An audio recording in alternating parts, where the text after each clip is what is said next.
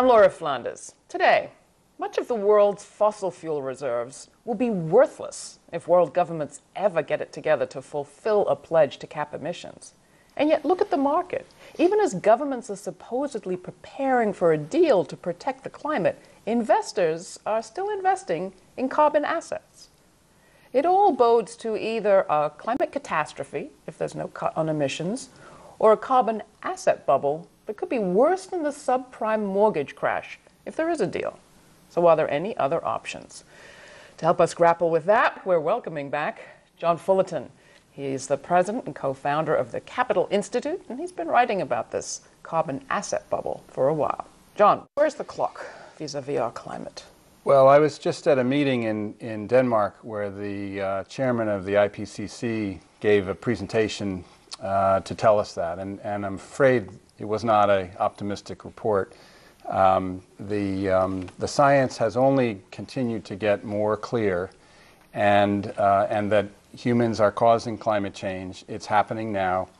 And I think the important piece of this latest report is that continuously the science is trying to catch up with actually the rate of change. Mm. So we've systematically, because science is inherently conservative, we've consistently underestimated the rate of change, and that's um, that's now becoming uh, more apparent to to the scientific community. All right. So say I had a broker, one, and say I went to him or her and asked him or her her advice for my stock portfolio this year or next. What would she or he be likely to say? Well, you'd be lucky if she or he had thought about the issue. I think the, um, the reality is that climate change and finance are still very much viewed as separate worlds disconnected from each other.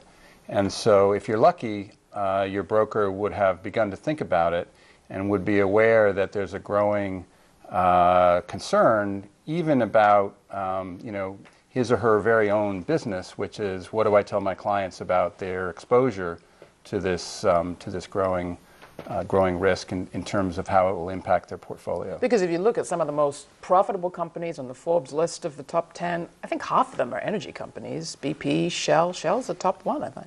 Yeah, the, the energy business is a profitable business. In, in many ways, what an energy company is, is a expert at investing capital in a prudent way from the perspective of financial returns because they need to have extremely long time horizons amid lots of uncertainty. And so the skill set they become very good at, in addition to the engineering, is investing capital. Um, so they're, they tend to be profitable, and, uh, and if oil prices are strong, they tend to be extremely profitable. So let's buy some stocks. Well, that was a good theory 10 years ago. To go back to the time trajectory, the, the research was done well over six years ago. Um, about two and a half years ago, an organization in the UK called Carbon Tracker uh, took the original fundamental research and, and expressed it in, a, in an extremely powerful, user friendly way with good graphics, and came out with this idea uh, and presented it as a carbon bubble and talked specifically about the investment risk of the shares of the public companies that own fossil fuel reserves. That's where they focused on. And they presented it as a market risk and, and focused on market regulators, particularly in the UK where a lot of oil companies trade. Um, and so what they were saying is there's this undisclosed risk that if we get our policy act together, um, these fossil fuel based companies are susceptible to significant decline in value and they, the share of the UK stock market is dom- not dominated, but significantly concentrated in oil stocks, and therefore the European and particularly UK pension funds have a lot of exposure to this risk. Mm. it was a very effective strategy um, that then made its way to the, you know, the mass mobilization movement that you talked about. Bill McKibben did a great job uh, marshaling it with a, with a, a really important um, article he wrote uh, called Do the Math. And, um, uh, but it really started before that. It started, to my knowledge, at Swarthmore College, right. uh, focused on coal, probably a year and a half mm. before the Carbon Tracker report came out. So it just gives us an idea of how long it takes for these ideas to move from science into the mainstream. And in fact, um, even though it's now in the mainstream, most mainstream investors are still dismissing it mm. as kind of a not our issue. It's a political issue, not an investment issue. So one of the things that's prodding people to even think about this subject is a student movement that's growing up around the country calling for fossil-free investments and sort of call, and calling for divestment by colleges uh, along the lines of the campaigns that saw divestment from South Africa Right. years ago. Here's a quick video that kind of lays out where the campaign is at. It's a trailer for a longer movie. Check it out.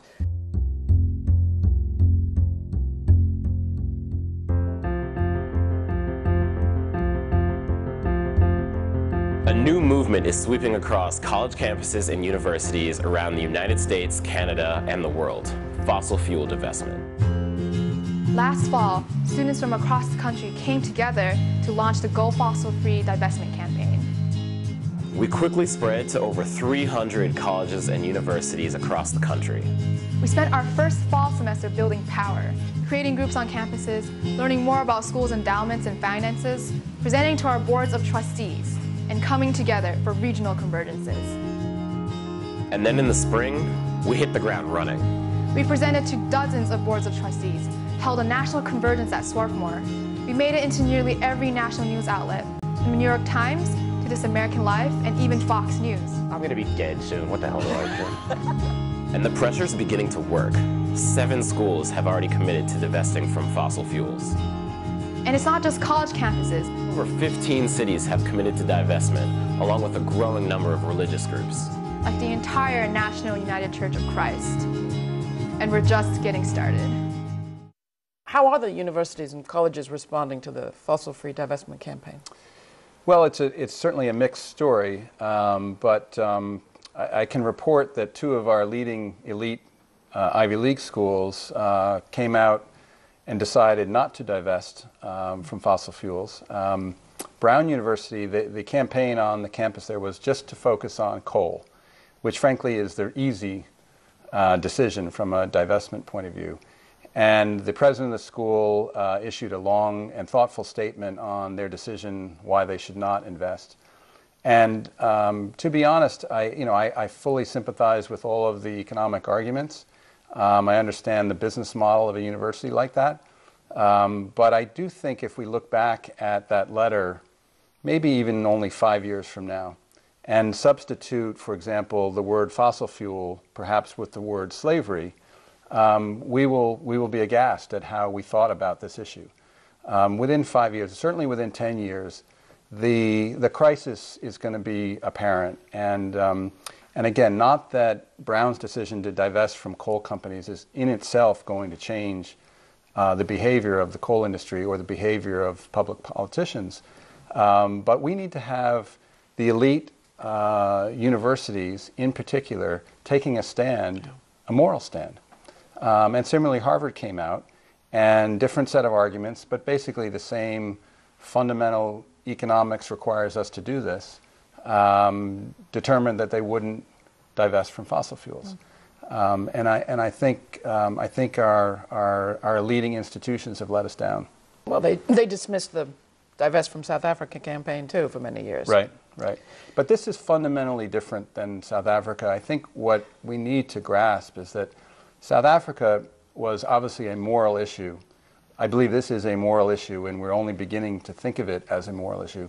But the scale of this overwhelms South Africa. I mean, South Africa is a relatively small economy, and the, the main developed economy world's exposure to South Africa was almost trivial, I would say. This is the fundamental energy system that drives the global economy, uh, on a, and it's a scale that is incom- you know, incomparable to any challenge we've had to deal with before. So, how on earth is the world of finance going to help us? If, as you described it, it's models, as we've talked before, it's models don't help us. Hmm. It's consciousness isn't really there yet, but the clock is ticking. Hmm. Um, just divesting from things, I'm assuming, won't be the whole picture. We also have to talk about what to invest in instead. You've been working on that part of this hmm. picture as well. What have you come up with? Well, I, I think you're right. The, the answer isn't simply divestment. Um, I think the divestment movement has, has done a fantastic job at shining a light on this issue and, and putting it into um, the mainstream conversation. And you now have the head of the World Bank talking about divestment and fossil or stranded assets and you have the head of the OECD now talking about a stranded, I, I believe he said a stranded planet or stranded assets. So um, it's, it has succeeded in moving this conversation into the mainstream. But of course, those that don't favor a divestment strategy can rightly point to the logic that simply by large investors, much less smaller investors, selling their oil stocks isn't going to change how oil stocks invest their capital. Exxon hasn't sold stock in I don't know how many decades. They invest, they reinvest their own cash flow.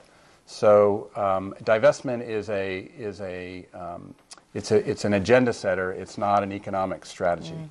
Um, you asked about how finance can can um, can respond to this. I think uh, clearly there's financial risk management and the tools we understand about financial risk management, which is the future is uncertain, and we need to look at a wide range of scenarios in our financial forecasting.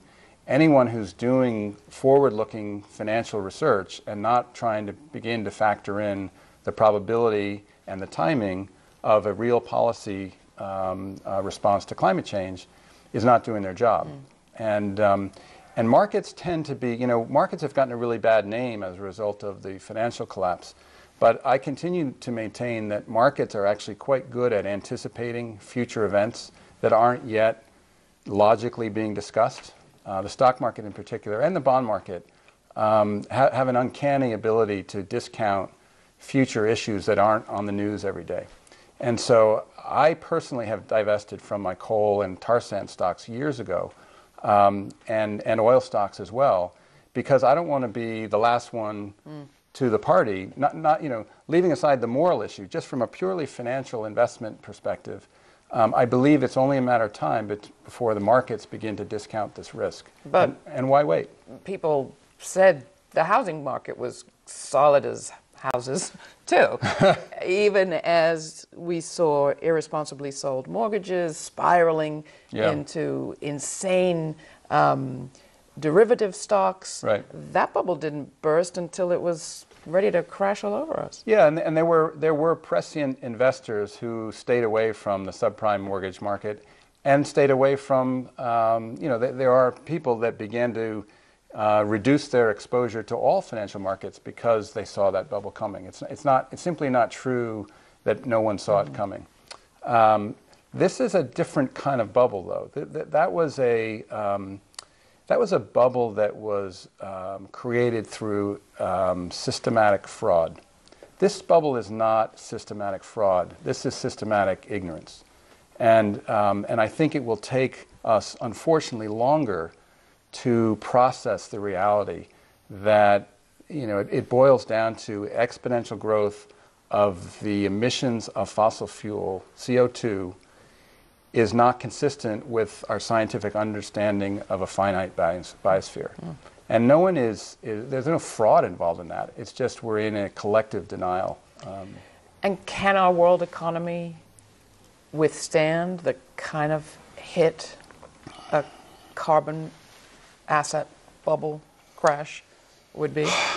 you know, that's a, that's, a, that's a tough question. I wish I could rattle off an easy answer. Um, when I first wrote about this now two years ago, I called my piece our $20 trillion big choice. And, and what I meant by that is that I did a back of the envelope calculation that, that estimated that the current market value of the fossil fuel reserves that we should not be burning at the time was worth about $20 trillion. I think that was a conservative estimate. Now, only a, only a, a small portion of that, less than half of that, is owned by public companies. So the public market exposure is actually the smaller piece of the total exposure. Think about the economic exposure of the OPEC countries whose economies are primarily based on selling oil um, or selling fossil fuels. Um, you know, the, the, the subprime crisis caused a direct write-off of, I'm told, 2.7 trillion. If my calculation is even roughly correct, absorbing a $20 trillion financial write-off into the economy, even if the banks aren't as exposed to it as they were to subprime, which I think is probably true. I mean, banks have exposure to the energy industry, but I don't think they're holding massive leverage portfolios of toxic, risky. Um, you know, they have loans to, to to small oil companies. They don't have leveraged portfolios of exotic um, you know, uh, derivative-based um, uh, subprime. But but 20 trillion is a big number, and even if it's going to be managed through a decade or more, as I said earlier, markets tend to discount these new realities very quickly. Um, so I, I, I, don't think we're looking at a situation that's going to be an easy, smooth transition. Mm. I, I, think we're already experiencing the volatility and we'll continue to. So you're a kind of calm guy. You worked for JP Morgan for years. You've been trying to tell this message. You've been saying this, ringing this alarm for years now. Mm. Is this you with your hair on fire? I often feel like I'm helpless. You know, I'm, I'm screaming out the window and no one's listening and everyone's going busy about their work. And, and in particular, the challenge that will be the hardest of this is not the economic absorption of, of, of the loss, it's the consequences of this new reality, which is that all things equal, it's going to be, we're going to have a slower growing economy with more expensive energy. That means all kinds of things beyond the value of oil stocks. Yeah. That means the debt capacity of nation states is probably going to be lower than we currently think it is, which means the debt to GDP problem is worse than we currently think it is.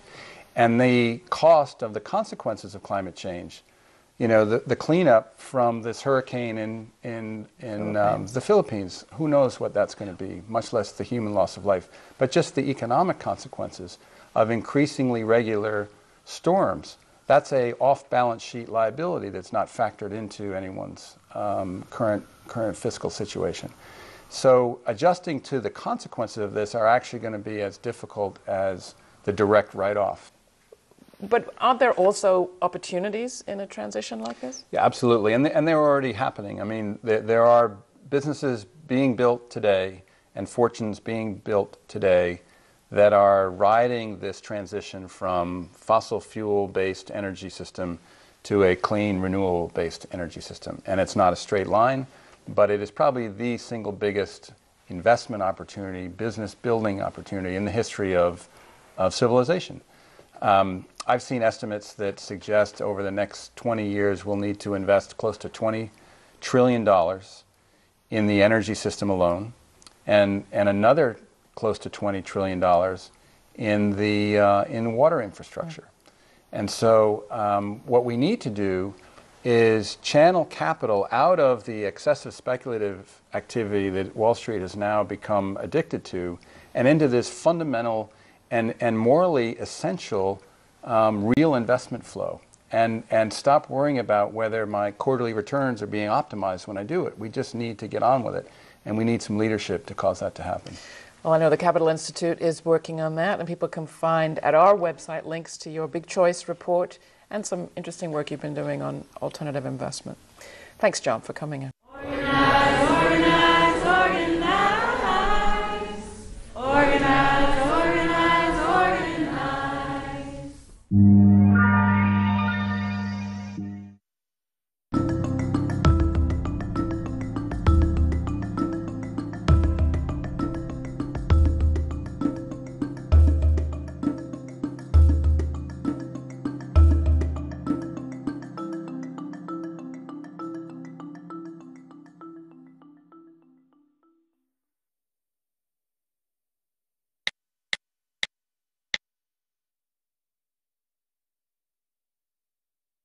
I've been thinking about things. Things that you tell me, and I pretend not to hear. I do listen to you. Deep down, I do. But what I really do is watch. Truthfully, a lot of what you want for me and my generation, I don't see happening. I am one small being. One voice. One vote. How can we make a difference in the world where things look pretty good from the outside? But are broken on the inside? Inequality is still the norm. Extreme poverty is ignored. Women are still oppressed. While our politicians are paralyzed.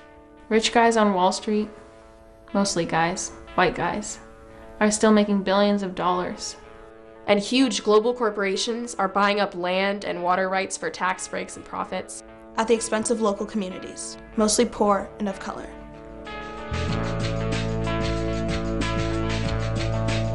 Our planet is overheating. Extreme weather is happening more and more often. Oil companies continue to drill offshore.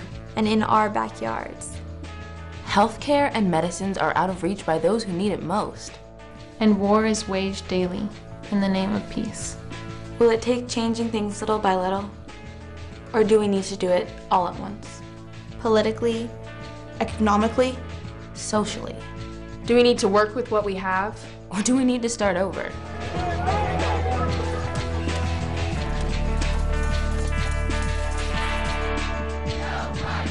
You always tell us to make smart choices. be inclusive. Be just. Care for others who can't take care of themselves. That if we use our imaginations, we can do anything we put our minds to. We can solve this. We expect you to. Just like you expected of us.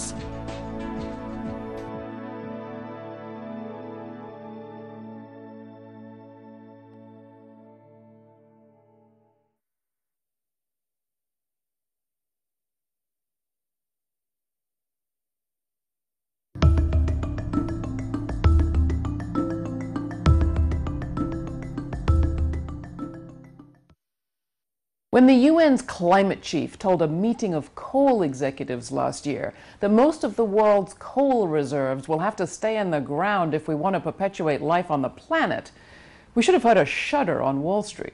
But we didn't. Investors keep on trading in fossil fuels as if there's no tomorrow. But there will be for carbon if the world's governments ever get serious about capping emissions. It may not have happened at the last stymied climate talks, but when they walked out of those talks, civil society groups pledged to get a whole lot less civil. And sooner or later, governments are going to be forced to pass new regulations. The world is simply running out of the amount of greenhouse gas we can emit before we warm the climate beyond the point of no return. We may be there already. The same UN climate chief who polarized with activists was pretty plain spoken with the coal companies. Christiana Figueres urged the energy execs to, quote, honestly assess the financial risks of business as usual. Not morality, not weather, not refugees or wars. Figueres was talking about finances here. Because if you're a coal company, your finances are tied up with those fossil fuel reserves. They're the core asset on your balance sheet but only if you can burn them. If you have to leave what Figueres says needs to be about 75% of that coal in the ground to prevent the world from overheating, that means lopping that same amount off the value of your company. Al Gore got grief when he wrote about this in the Wall Street Journal. He's not an economist, the critics said. Figueres isn't a banker either. But on our program, on the eve of the UN's climate talks, we talked to a man who is. John Fullerton began his career as an oil and gas banker before rising to manage global capital markets at JP Morgan.